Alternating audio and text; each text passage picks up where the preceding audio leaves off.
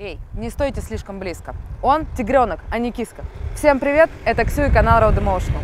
А этот огромный зверь, несмотря на свои внушительные габариты, действительно не киска.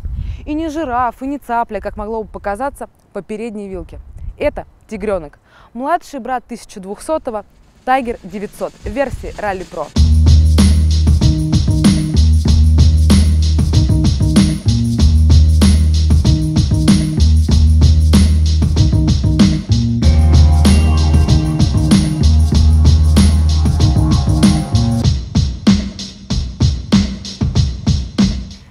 Идут одной тропой.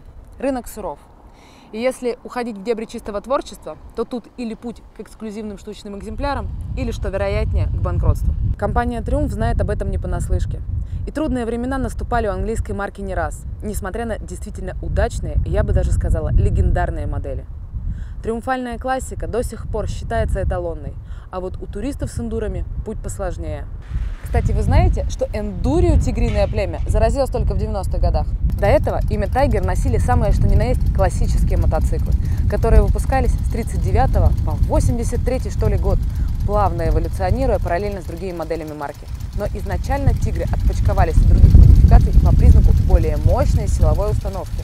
То есть не просто так-то он имя свое грозное получил. А в последней инкарнации Тайгер возник как универсальный турист-вседорожник. И тоже был он 900-м, кстати. Потом была даже попытка натянуть на него некую спортивную сущность. Но получилось это очень странно, поэтому такого тигра никто не знает. А дальше, как полагается, постепенный рост кубатуры, и, дойдя до класса образующей отметки в 1200, у большого тигра завелся младший брат, 800 который жил 10 лет, не тужил, а вот в 2020 подрос до 900 кубиков. Прям целое древо генеалогическое вам тут тигриное я развесила. Хотя интересно знать, откуда ноги растут. Точнее, колеса. Ведь в 90-е 900 это было очень жирно и много. А сейчас это младший тигренок. Или это совсем иное явление? Давайте разбираться, ибо есть в чем.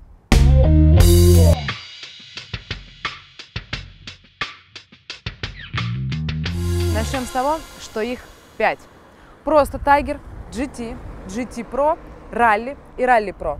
Такова современная реальность. Каждый уважающий себя производитель должен иметь несколько вариаций на тему одной модели. И вроде как все то же самое, а вроде как и пяток разных мотоциклов получается. Один – простой бюджетный городской. Второй – турист-кроссовер на литых колесах. Третий – фаршированный турист-кроссовер на литых колесах. Четвертый – тур-эндуро с правоверным 21-м спецованным спереди. И пятый – да, то, что досталось мне – Ралли Про – фаршированный тур и true эндуро с максимум ништяков, которые только можно предположить. Ну, господа, простите, те, кто немножко знает меня и мои обзоры, в курсе, что я создание чисто асфальтовое. Так что те, кто пришел за лютым отжигом по оффроуду, вам не сюда. Мне бы, наверное, больше зашел GT Pro, но я никак не могла отказать себе в удовольствии познакомиться с этим прыгуном. Тем более, какая почва для сравнений, но об этом позже. А пока ТТХ.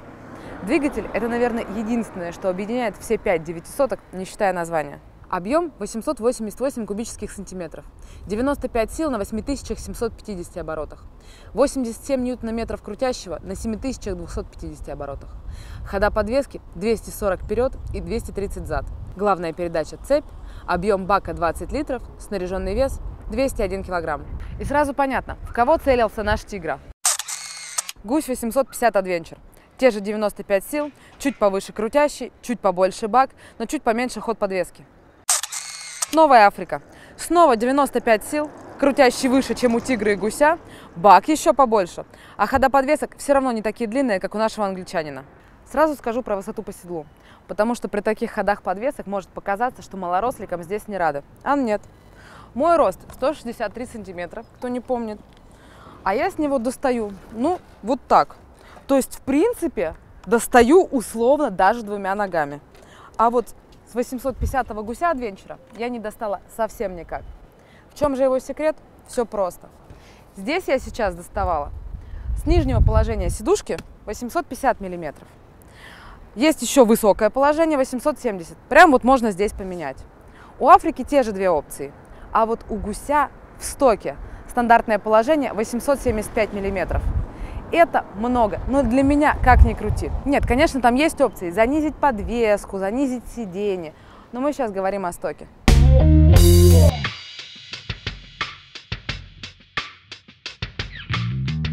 Ну что, давайте его вокруг обойдем, рассмотрим. Что тут у нас прям кричит? Ну расскажите же обо мне скорей. Да, наша прекрасная белая рама. Докладываю. Она абсолютно новая и более того со съемным подрамником. Зачем? Ну все просто. Оно эндуро, и оно готово падать и всяко валяться. И если что-то вдруг погнется, поломается, чтобы все легко снималось, чинилось, ну или же заменялось на новое. Точно так же съемными стали подножки пассажира. Либо как лишняя деталь в пампасах, либо чтобы милый случайно никого не покатал. Барышни тигроводов, на заметку. Пока мы тут, у нашего тигра аморт шова, полностью регулируемый вручную. Вилка тоже шова и тоже крутится вручную. Да-да, и на версии Pro тоже. Почему? Да потому что Pro, то есть профи, в данном случае должен быть райдер. И лучше всех знать, что и где, а главное, как четко настроить под себя. Без всех этих гламурных электронных регулировок автоматических. Они есть в версии GT. Двигатель здесь новый, как и все вокруг него. Объем возрос незначительно, зато у нас полностью новый коленвал и другой порядок вспышек между цилиндрами. Ожидается, что характер у 900 будет совсем другой по сравнению с 800 -кой. Глубже, ниже и тяговитее. Я очень сейчас жалею, что не каталась на 800 но теперь уже придется где-то ее брать на тест. Еще тут другой картер, поменьше, чтобы сохранить серьезный дорожный просвет. А здесь он даже больше, чем на 800 получился. Но и сам двигатель смещен вперед, вниз и немножко наклонен. Низкий центр тяжести – это важно. Про вилку я сказала уже, давайте лучше на тормоза посмотрим. Сюда их поставили такие, что даже резвому городскому моту должно хватить. Радиальная Brembo Стилема на 320-х дисках. Кайф. Тем более для скромного веса нашего тигренка. Задний тормоз, конечно же, тоже Brembo. А еще мне особенно нравится лапка. Она регулируемая. И в зависимости от стиля езды, от мотоботов, которые вы используете, вы можете ее подстроить под себя. Мелочь, но черт возьми, как мне нравится. Колеса, кстати, без камерки. Это прогресс. Но почему злющая True Enduro версия с 21 передним колесом комплектуется дорожной резиной? Для таких комнатных блогеров, как я, ну так ведь других опций вообще нет. Чем еще может похвастаться Тигра Ралли Pro? Ну, например, в стоке подогревом и водительского, и пассажирского сидения. Водительская включается с кнопки на руле, а пассажирская имеет отдельную кнопку. Вот здесь. Плюс пассажир имеет отдельный прикуриватель для зарядки своего телефона. Ну, очень удобно. Хотя нет, для телефона, уж не знаю, пассажирского ли, или когда человек едет один, тут есть особое свое место. Внимательно смотрим. Вот здесь такое есть. Ложбинка, куда можно положить телефон и вот здесь прям цивилизованно к USB его подключить. Потому что у Триумф такая прям вот философия пошла, что обязательно телефон должен быть не в руках, не в карманах. И вообще, когда вы на мотоцикле, вам все покажет мотоцикл. Вот через приборку. Туда можно подключить и пассажирский телефон, и водительский, и чего только нельзя. Сейчас мы это и посмотрим.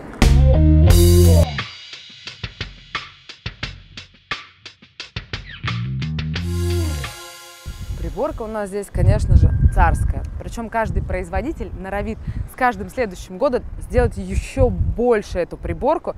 И мне кажется, что эти приборки у мотоциклов будут расти как ноздри у машин BMW. Ну ладно, это все лирика. А Триумф с нами наш здоровается вот так, все красиво, все лаконично по-английски. А вот само решение приборки достаточно футуристичное.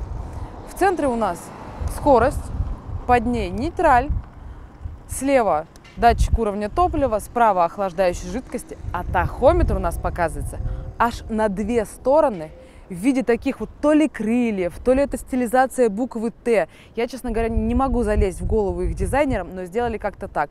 А в верхней части экрана это у нас меню телефона. Ничего не поняли? Сейчас объясню. Мы же все помним, что Триумф хотели сделать все, чтобы человек на этом мотоцикле телефон в руки не брал. Ну зачем он ему, если все может быть показано на приборке? Например, смс можно посмотреть, кто что написал. Историю звонков, кто звонил, что как, тем более, когда тебе звонят, естественно, ты это видишь здесь.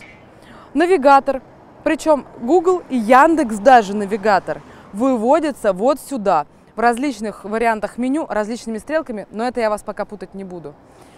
Здесь можно подключить еще и GoPro, то есть реально вот именно камера подключается персонально к мотоциклу, и вот джойстиком, который управляет всем вообще на свете, можно управлять телефоном, и GoPro, и всем чем угодно. Прям музыку можно включить. В общем, все, что вы хотите, и все, что вам нужно дополнительного, все можно найти здесь. Ну, если дальше полистать это верхнее меню, тоже можно найти много интересного. Тахометр в цифрах для тех, кого не устраивает анимация. Стиль приборки можно настроить под себя, их тут аж четыре разных. Будет ли она выключаться при изменении светового режима, там белое, черное, когда будет сервис, расход топлива. Всем интересно, вот 5,8 литра в среднем при моей эксплуатации. Пробег, средняя скорость в Москве, она совершенно смешная. Ну и, собственно, все. А если вы думаете, что это все, нет. Самое это главное меню начинается вот здесь. Режимов двигателя здесь 5. Выбираются вот этой кнопкой. Спорт, мой любимый, на котором я езжу в городе. Оффроуд, ну а как же, этот мотоцикл же для оффрода. Offroad Pro и только в этом режиме и только на Rally Pro можно отключить ABS и Traction. Ни на какой другой версии Tiger 900 это сделать нельзя. Ну, естественно, Rider, где ты можешь настроить все под себя, любую карту двигателя, любой уровень трекшена или ABS. Ну и Rain, куда без него, мало ли вдруг попали в сильный дождик. А я вам скажу, на 21-м переднем спецованных колесах и тоненьких их, ну это так себе удовольствие. Ну и пульты. Сначала кажется, что кнопок перебор, а потом понимаешь, что ну, все достаточно удобно. Режимы выбора двигателя раз, круиз-контроль 2, переключение света дальний ближний ДХО 3. Кстати, фару сейчас покажу. Поворотники, вот этот наш волшебный джойстик, который выбирает и решает все и за телефон, и за весь мотоцикл. И мигалка. Идем смотреть фару. А чтобы показать вам фару, мотоцикл надо завести. А чтобы его завести, нужно сначала выжать сцепление, ведь это триумф.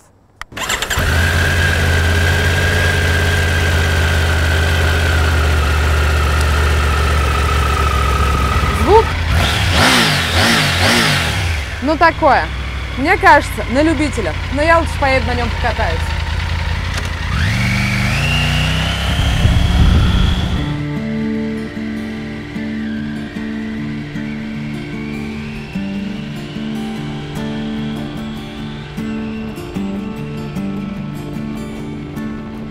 Триумфы в этом году, конечно, прям стрельнули, потому что у них и новый рокет, и вот эту вот штуку.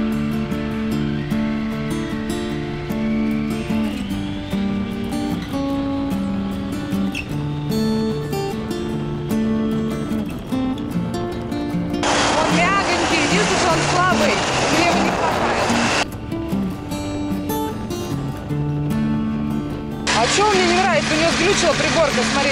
Ну-ка я его пока заткну. Но Я хочу эту приборку нормальную получить. О, блин, напомнил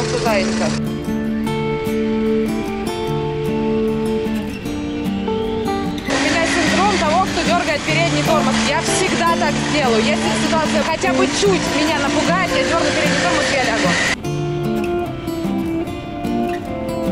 Не мотоцикл, это забор. Вообще-то он сейчас дернул жопой. Вот здесь я не боюсь этого. Мне бы по уму имелось бы смысл давать именно GT Pro. Потому что где, где я и где Rally Pro?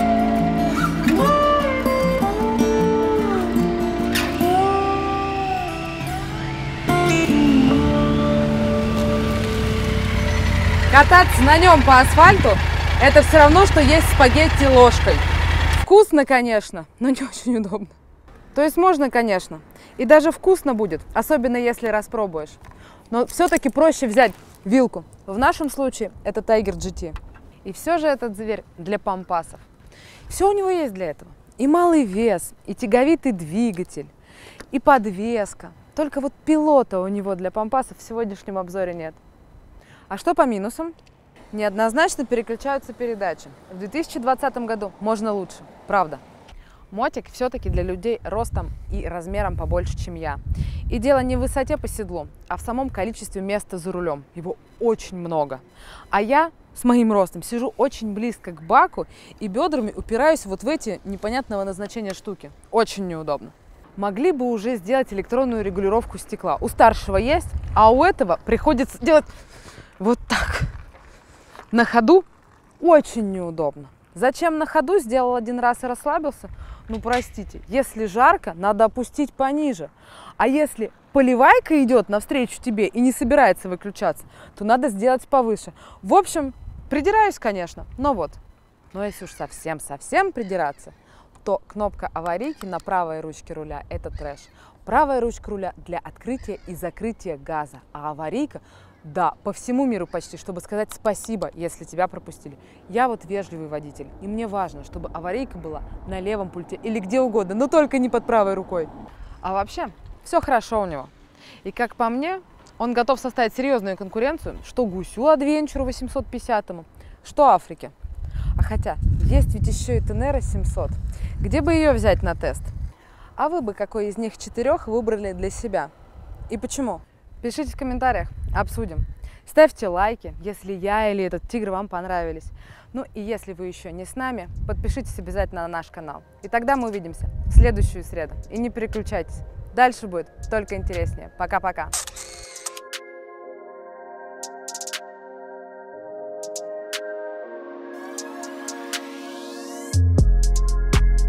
Блин, 23 обещали, мне такое ощущение, что все 30 сейчас.